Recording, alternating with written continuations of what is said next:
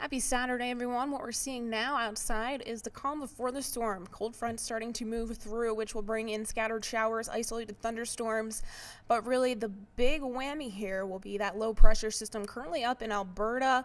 We're seeing that system move counterclockwise. It's going to be a big one, a big spring storm system moving in later on this afternoon and evening. We are already going to be seeing some rain and snow showers due to the first cold front. Then we're going to see another cold front move in later on this evening and into the overnight hours for tomorrow. So, looking at the rest of the evening here, we're going to see those showers over the next few hours, and then we're going to see that next cold front start to move through, which will drop our temperatures. We're starting to see things be mix rain and snow and then really we're going to start to see most of that snow move in overnight tonight through tomorrow morning becoming more widespread throughout the day tomorrow so a lot going on here we have blizzard warnings in red winter weather advisories in blue we have winter storm warnings in purple and that light pink we have wind advisories. So not only is it going to be snowing, it's going to be very windy.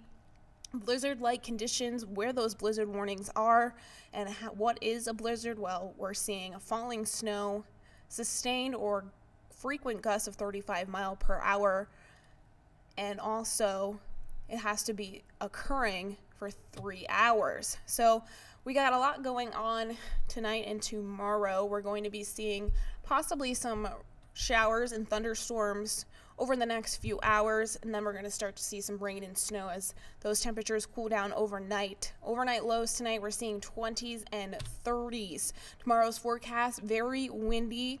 Temperatures will be in the 30s, and we are going to be seeing that snowfall. So 33 in Cut Bank, 30 in Lewistown, 34 in Helena. Looking at future track for tomorrow, we are seeing that widespread precipitation here by Sunday morning. We'll continue to see it here through north central Montana from Cut Bank to Havre down to Great Falls, Helena, and Lewistown. Then we're going to start to see it move even into northeastern Montana here later on Sunday afternoon, seeing that mix of rain and snow. So most of the snow is going to fall in the morning hours and early afternoon, at least in north central Montana. You could see by 6:30 it's moving out. No longer snowing in Cut Bank Havre or even Great Falls. Still seeing some showers in Helena and Lewistown, and it'll continue to kind of just linger here through Sunday evening, but becoming uh, less widespread, obviously, and more showery. So here's what we got going on. Our snow forecast through Monday could see one to three inches in Great Falls, two to four in Cut Bank. Right around maybe two inches in Havre. Lewistown seeing higher accumulations, three to five inches.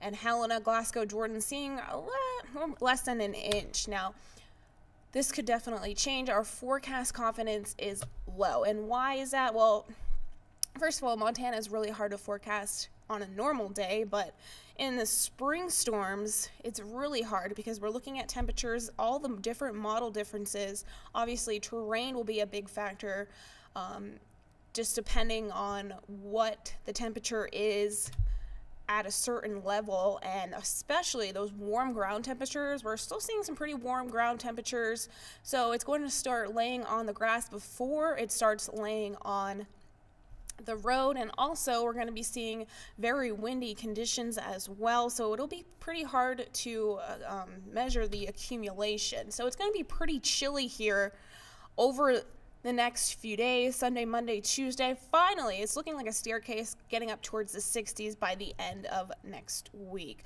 We'll have the full forecast and uh, everything updated tonight at 5.30 and 10 krtv kxlh